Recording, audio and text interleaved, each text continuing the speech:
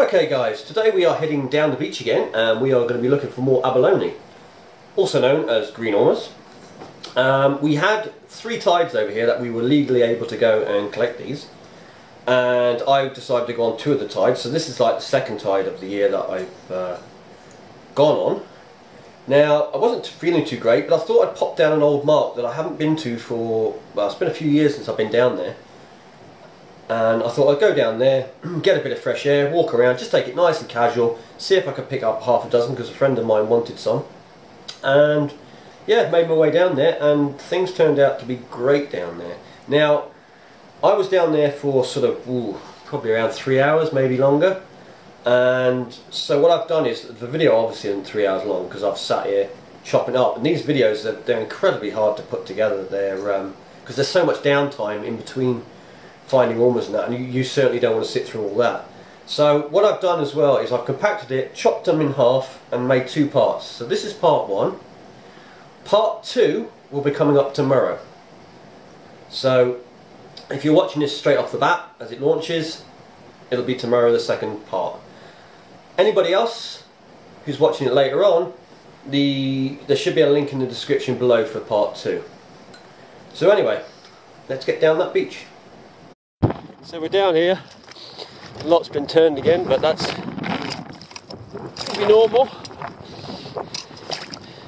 Just having a look around here now. These waders, I mean, they new ones, almost got to my neck.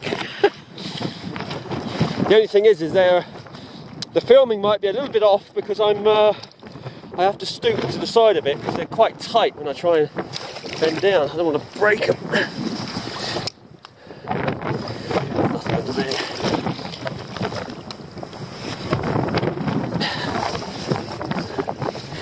Now I haven't been here for a few years to this mark.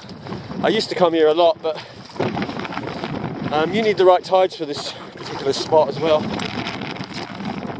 Or the right size tides. You always find a few up here, but you need to get further out. Let's have a look around here.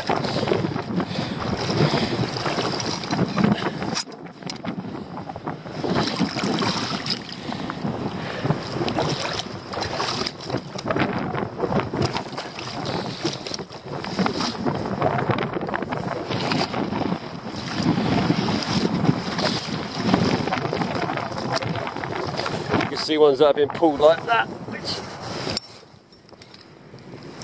you can quite easily just flipped it back again. Let's have a look.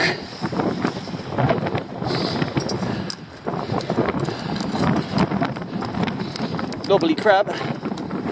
Hold on. Or what we call walnut crab, or I call walnut crab. There we go, look. It's funny because I never see those in crab pots, probably because they get through the net, but in traps of any form, they're always around. Like nearer the low tide mark, uh, the lower tide marks, not not high up.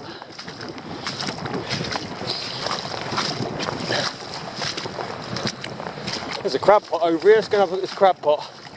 It's obviously a abandoned one. We'll pull a few stones as we go. So like this, there might be too much sand around this. Yeah.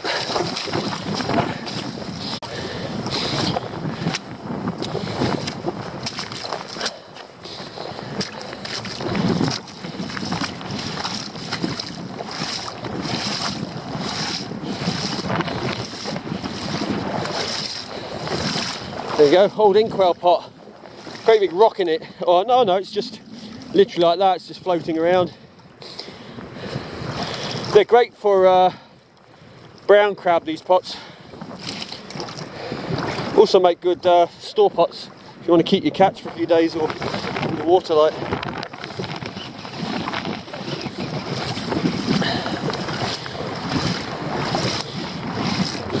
Now you can see rocks like this this has been turned, but this has been turned a few months ago. You can just tell by the, the way the growth on it, whereas this one hasn't.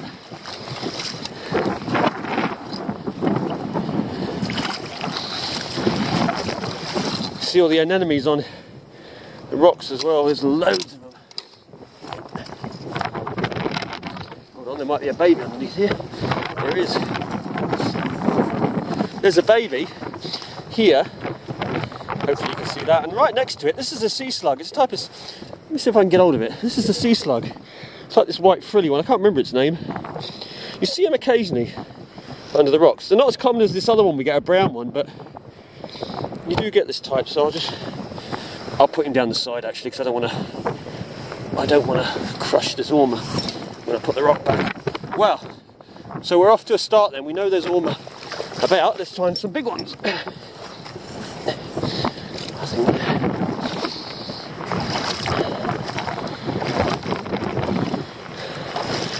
big rock. Trouble is, this rock is round. I think it's been lifted as well. Looking at its position. There's a prawn. Just a common prawn we get here. When they get a bit bigger, we'll have to go for these one day. We'll come down with a shrimp net and we'll uh, get some larger ones, cook them up because they are the tastiest. Out of all the prawns I've ever eaten, they, to me, they are the tastiest. They're more sort of meaty, not so glassy.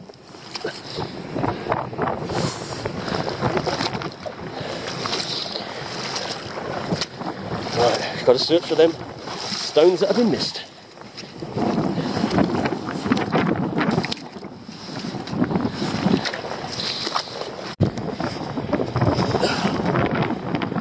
There's a baby one under there. Why I turned the camera back on. I thought there's bound to be one under that. But there's only a little one again. We found quite a few small ones, nothing big yet though, or big enough.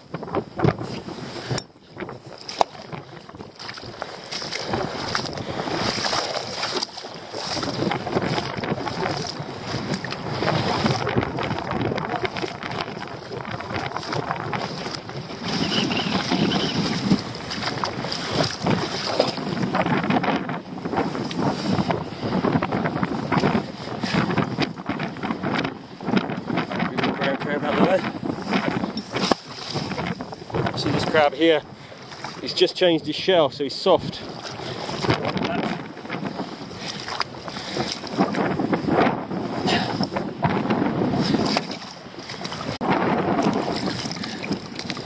Baby one. Far too small though.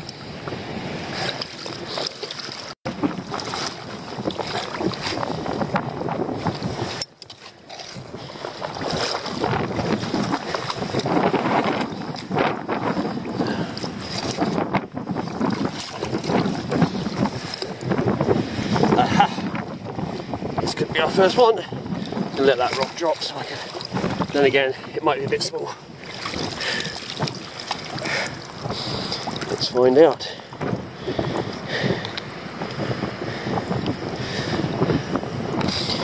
There's got a bit of a broken shell there, so let's see. I think this is going to be illegal actually.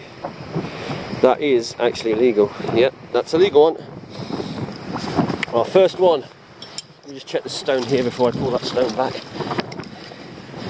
Make my life easier.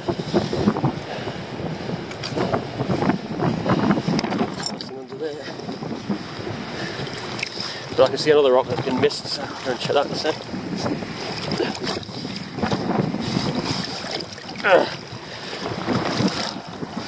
This rock here hasn't been lifted. Nope, nothing under that one. That one. nope. Okay. Oh, we've got one. Get the bag.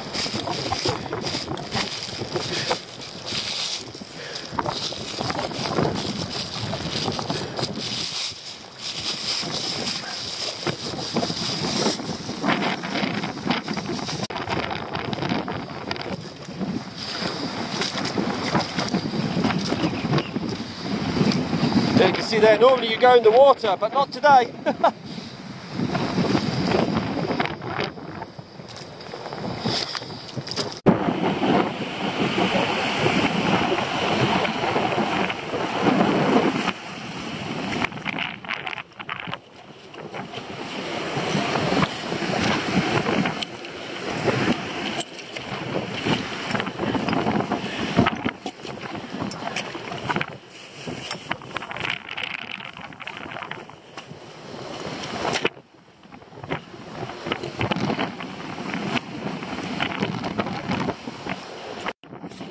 You'll have to excuse the camera if it gets a bit splashed now and again.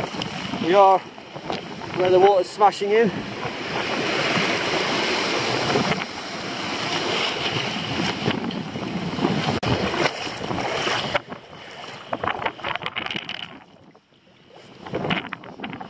Baby one.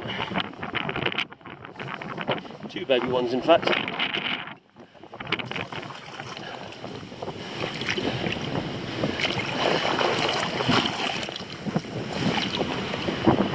Hold on, there might one here.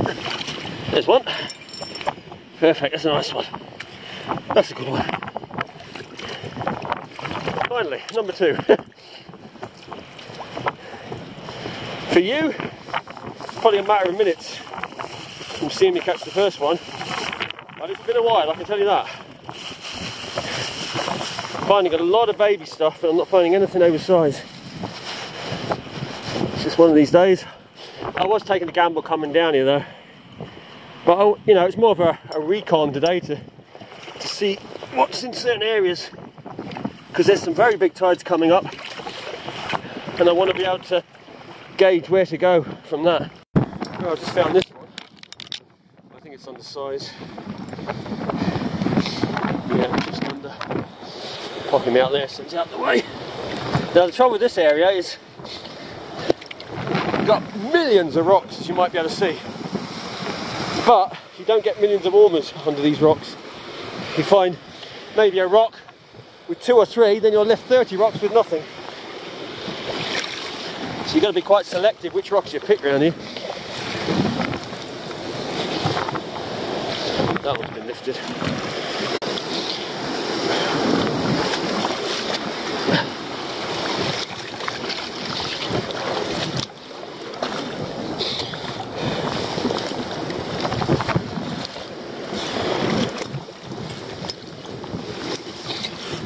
There we go. There's one. And it's big enough. And I just dropped it. Yeah, got it. Yeah. Good. Now we're finding a few. I say a few, we're up to three. but that's alright. We'll keep searching. So it might be worth going around to the little spots I do know where you do get a few ormers.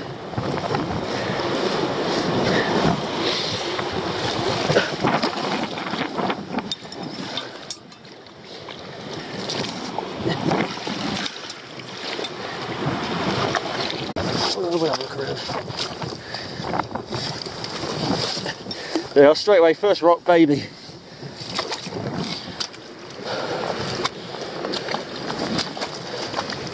Doesn't look like anybody's been here either. Probably because it's so such hard work here.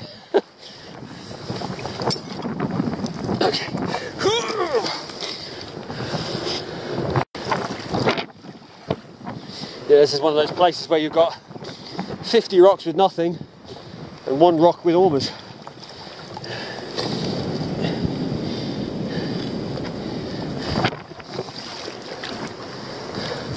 But there's massive rocks here you'll never get over, so there's always a good stock, breeding stock here.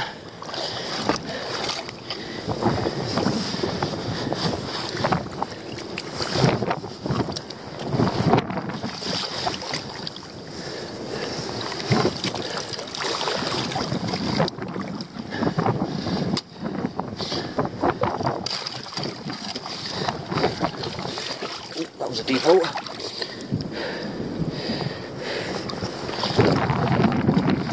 Let's hit a few of these.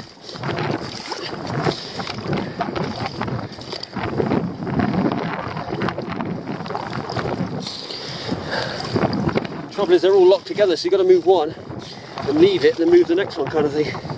It's finding a place to start.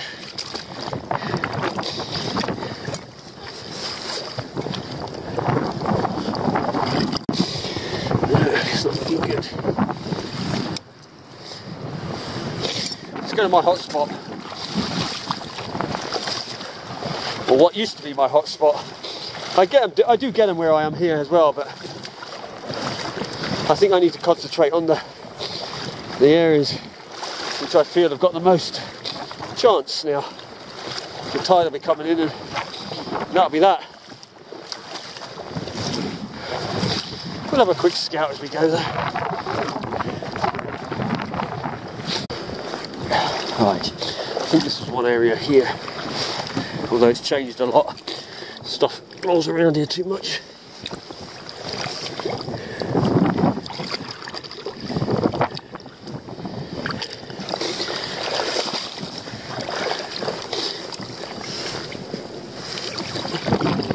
Go.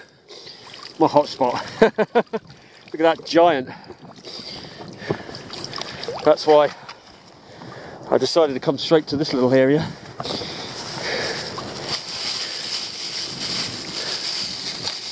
Great. So now we're up to four. Four? Maybe five. Four, I think. I don't know. Right, let's see. See if there's any more here. I'll have to leave that rocks up for the moment because I need to get to the one underneath.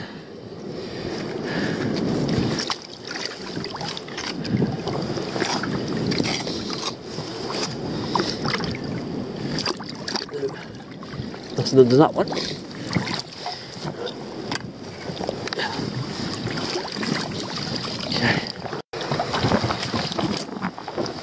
Having a look around in the crevices. Get them in these crevices as well. I see one. Yep, I don't know if I can get my hook under it though. This is such a tight crevice. Yeah, I'm not going to get that one out. I mean, I could sit here for 10 minutes and get it, but it's in there. But I'm going to leave that one.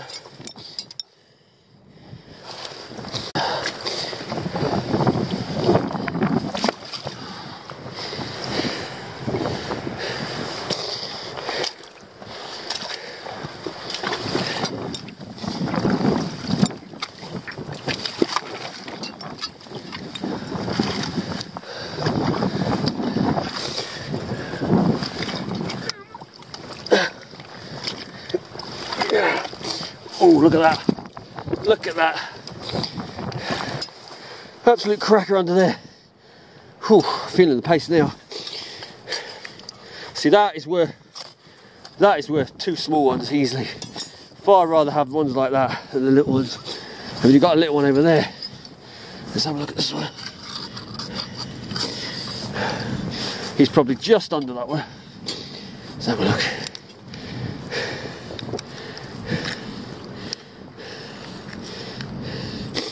No, he is actually size. Yeah, that is a size Ormer. So, if you look at the difference there, that's a size one, and that's the ones I like to find. this is a good place for it, but like I say, it's extremely hard work. Right, just check the camera's not all gunked up with water. So, a couple here might be worth having a quick look under a few rocks here. My bag out.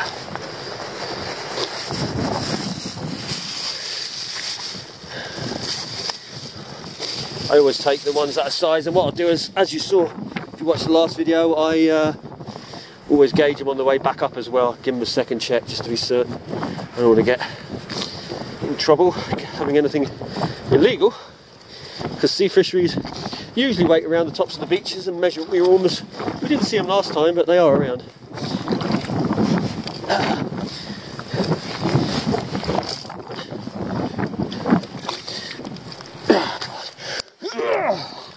one two three.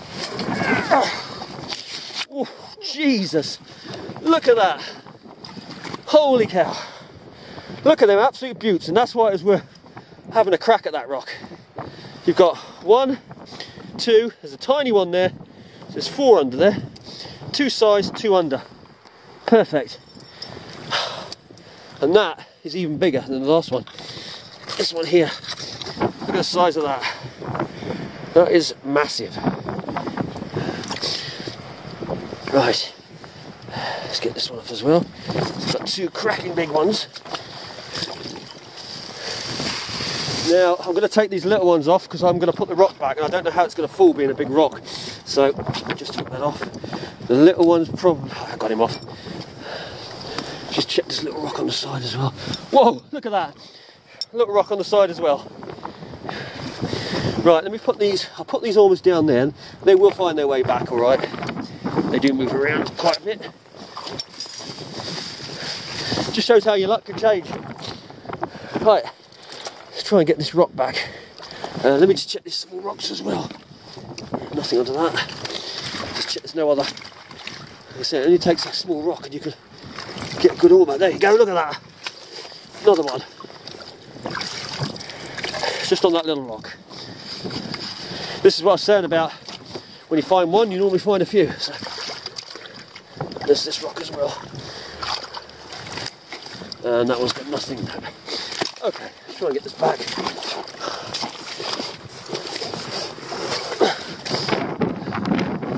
There we go, back. Ones aren't so important because they will move in storms. Let's check all these now. Now we've got to go for it around here because you never know. There could be more.